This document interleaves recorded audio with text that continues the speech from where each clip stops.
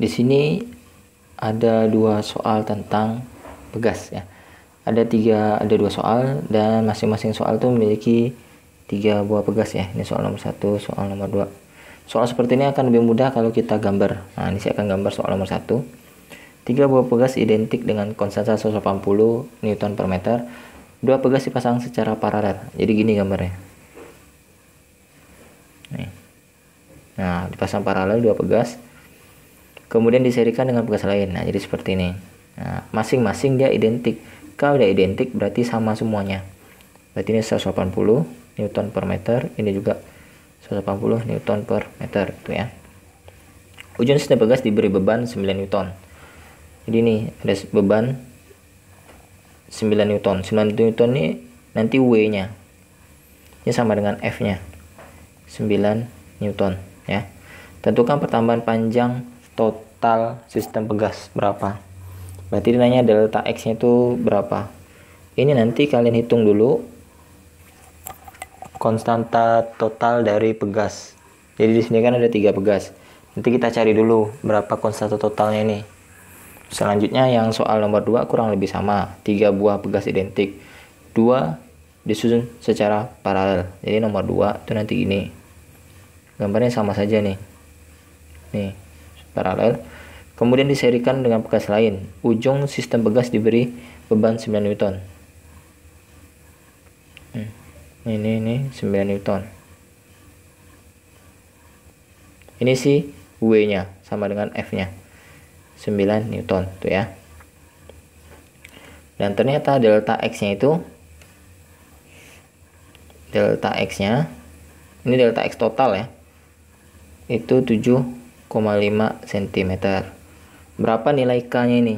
Nah oke. Nah sekarang kita cari berdasarkan rumus hukum Hooke ya. Rumus hukum Hooke itu F sama dengan K dikalikan delta X. Kemudian kalian harus tahu seri dan paralelnya itu yang mana nanti. Oh yang seri itu berarti dia pakai seper. Kalau paralel pakai penjumlahan. Oke kita bahas dulu yang soal nomor satunya Kita bahas soal nomor satunya. Perhatikan baik-baik langkah kerjanya. Tapi sebenarnya mereka berdua ini sama saja, cuma dibalik saja pertanyaannya. Oke. Yang pertama kalian cari dulu berapa konstanta total dari rangkaian ini. Ini gabungkan. Ini kan paralel. Kalau dia paralel itu tinggal jumlahkan saja. Berarti K-nya nanti sama dengan 180 ditambah 180. Berarti K-nya sama dengan 360 Newton per meter. Gambarnya berubah. Gambarnya berubah seperti ini. Nah ini 360 ini 180 ini saya tidak pakai satuan ya. Kalian kalau ditulis nanti pakai satuan. Kalau ini saya pengen cepat saja. Ini nanti digabungkan lagi. Gabungkan dia seri ini. Nah berarti ini nanti pakai seper. Seper K sama dengan 1 per 1 per 360 ditambah 1 per 180 kalian samakan penyebutnya supaya sama penyebutnya itu masing-masing diubah menjadi 360 kalau ini sih tidak perlu diubah ya. Berarti ini dikali satu ini supaya jadi 360 itu dikalikan dua. Berarti ini dua ya kan? Ini kali dua ini kali dua. Itu asal muasalnya. Maka baru bisa ditambah atasnya 3 per 360 dibalik maka K nya sama dengan 360 bagi 3 berarti sama dengan 120 Newton per meter. Nah, jadi kalau diilustrasikan, dia itu nanti hanya ada satu buah resistor, resistor, uh, apa ini namanya pegas dan beban. Ini 120 Newton per meter dengan gaya atau F-nya W-nya 9 Newton ya. Ya, 120. Ini adalah K totalnya. Maka berapa delta X totalnya? Nah, delta X kan dari rumus F sama dengan K kali delta X ya. Maka ini nanti 9 sama dengan 120 dikalikan delta X. Maka 9 bagi 120 itu sama dengan delta X. Hmm. Ini tinggal dikecilkan, dibagi 3. Berarti 3 per 40 ya. Dibagi 3 gitu ya. Ini bagi 3 bagi 3. 4 per 30 itulah. Nah, ini satuannya meter.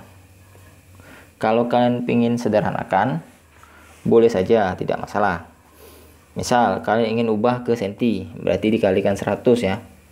Berarti nanti delta X sama dengan 3 per 40 dikali 100 cm ini kan coret nolnya nah ini nanti dapatnya sama dengan 7,5 cm ya. Jadi jawabannya itu adalah 7,5 cm atau ini sama juga dengan sorry ini sama juga dengan 0,075 meter. Nah itu kalau kalian bagikan ya terserah mau dalam meter atau sentimeter hasilnya sama saja.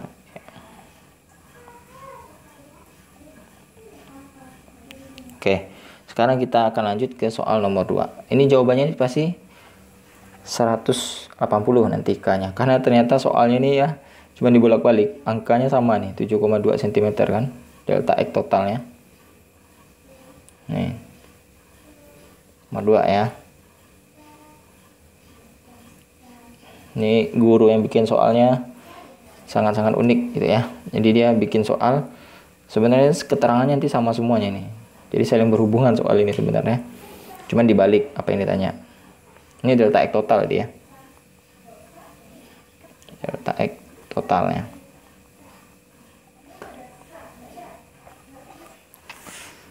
Oke, sekarang kita lihat tugasnya. Pertama, kalian bisa cari K totalnya dulu. Konstanta total dari rangkaian ini yang dari rumus F sama dengan K dikalikan delta X itu ya. Ini harus diubah ke meter, itu wajib ya. Jadi tidak boleh dalam sentimeter. Berarti 7,5 kali 10 pangkat min 2 meter. Karena dibagi 100 ya. F-nya 9 sama dengan K dikali 7,5 kali 10 pangkat min 2 Nah, ini tinggal dicari K-nya berarti 9 dibagi 7,5 kali 10 pangkat min 2. Ini sama juga dengan uh, ini 7,5 kan sama juga dengan min, min 75 kali 10 pangkat min 1 ya. Ini ya saya kasih tahu ya, 7,5 itu sama juga dengan 75 kali 10 pangkat min 1. Ini saya akan pakai pengecilan angka jadi nanti K-nya sama dengan 9 per 75 kali 10 pangkat min 1 dikali 10 pangkat min 2 tuh ya. Berarti kan 10 pangkat min 3. 9 per 75 kali 10 pangkat min 3. 10 pangkat min 3 ini naik ke atas. Nah, ini saya jelaskan matematikanya nih. Kadang masih banyak yang masih bingung bagaimana sih cara menghitung matematikanya. Nah, makanya saya harus jelaskan. Ini 10 pangkat 3 naik ke atas dia. Jadi pangkat plus ya berarti nanti K-nya sama dengan 9 kalikan 1000 per 75 ini bisa kalian dibagi 25 bagi 25 ini 3 bagi 25 ini 40 ya. Ini coret 9 dengan 3 nya coret 3 berarti 3 dikali 120 3 dikali 40 berarti 120 K nya 120 Newton per meter. Ini K total. Ini K total bukan K masing-masing. Kalian lihat susunan pegasnya tadi seperti ini. Nah ini K ini K ini K kalian cari K total dari rangkaian ini. Pertama ini dulu. Ini kan paralel. Berarti nanti K nya sama dengan K ditambah K ini KP ya kalau kalian bingung ya maka K paralelnya sama dengan 2K nanti gambarnya berubah. Ini. Eh sorry. Jelek banget gambarnya. Ini 2K ini K nah baru kalian cari berapa K yang ini. Ini kan seri. Berarti pakai 1 per. 1 per K seri sama dengan 1 per 2K ditambah 1 per K. K. Sama K penyebut. Berarti ini 2K ya. 1 per 2K supaya menjadi 2K maka atasnya itu harus dikalikan 2 nah berarti nanti baru ditambah atasnya. Dengan 1 per K sama dengan 1 per 2K ditambah 2 per 2K ya 1 per K ini K seri ya sama dengan 3 per 2K nah dibalik berarti K serinya sama dengan 2K per 3 Nah, tadi kan kita dapat nilai K totalnya itu 120. K totalnya sama dengan 120 Newton per meter. Maka nilainya itu nanti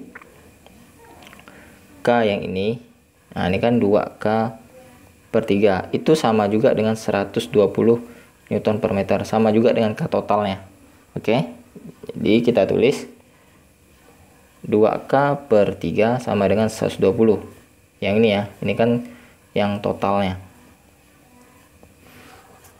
maka nanti dikalikan silang tiganya ke atas ini berarti 2K sama dengan 120 kali 3 berarti 2K sama dengan 360 maka K sama dengan 360 dibagi 100 eh du, sorry dibagi 2 ya berarti sama dengan 180 Newton per meter Nah, jadi kesimpulannya adalah nilai masing-masing K-nya itu adalah 180 Newton per meter, 180 Newton per meter, ini juga 180 Newton per meter, ini juga 180 Newton per meter. Nah, jadi nilai konsentrasi gasnya tanta